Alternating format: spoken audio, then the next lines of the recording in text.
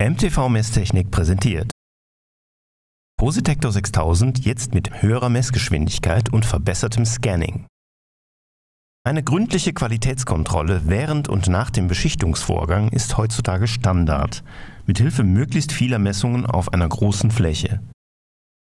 Der Positector 6000 ist auch dafür perfekt geeignet. Er ist exakt, robust und bedienungsfreundlich. Der Positector 6000 misst jetzt mit über 60 Messungen pro Minute, ohne Einbußen bei der Leistung oder Genauigkeit. Für fortgeschrittene Benutzer beschleunigt der Fast-Modus die Messung noch weiter, auf über 90 Messungen pro Minute.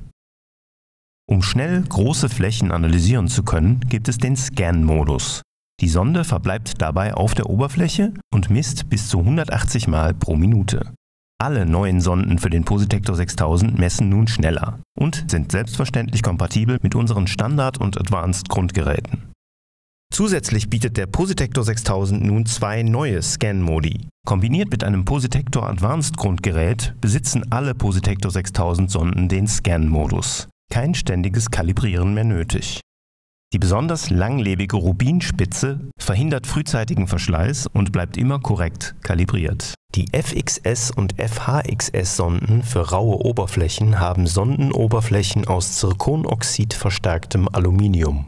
In allen Scan-Modi misst die Sonde kontinuierlich, sobald sie auf der Oberfläche platziert wird und findet Stellen mit zu wenig oder zu viel an Beschichtung, die vielleicht übersehen wurden. Es gibt drei Arten, mit dem Positector 6000 zu scannen. Im normalen Scan-Modus wird jede Messung angezeigt und im Speicher abgelegt, falls Speicher eingeschaltet.